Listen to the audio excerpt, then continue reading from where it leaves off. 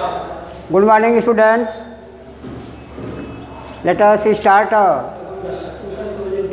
subject SST class 4, chapter 2nd, the Northern Plains. Only you have to write uh, the word meaning. Today, fertile. उपजाऊ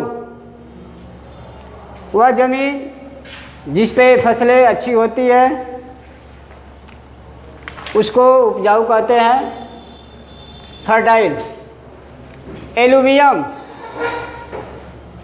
alluvium कछार बाढ़ के बाद जो बाढ़ आती है उसके बाद जो बचा हुआ रेत रहता है बालू रहता है दैट इज़ कॉल्ड एलुवियम कछार बेसिन नाला जिससे होकर के नदियों में पानी जाता है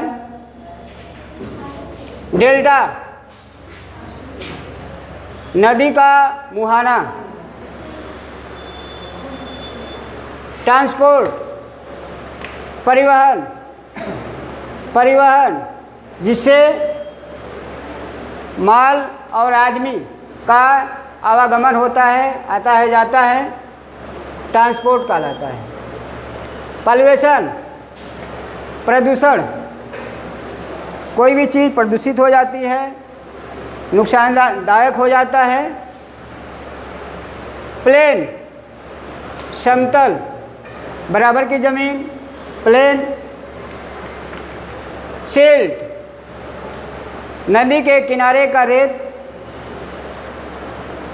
प्लेटिटू पठार पहाड़ों पे कुछ समतल स्थान होते हैं उसको पठार कहते हैं नॉर्थर्न उत्तरी नॉर्थ से नॉर्थर्न उत्तरी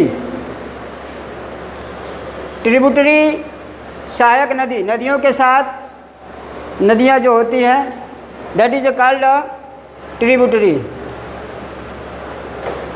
you have to write it on uh, notebook and uh, learn it carefully.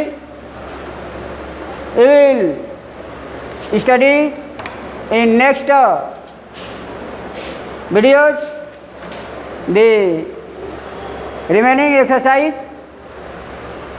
Thank you very much.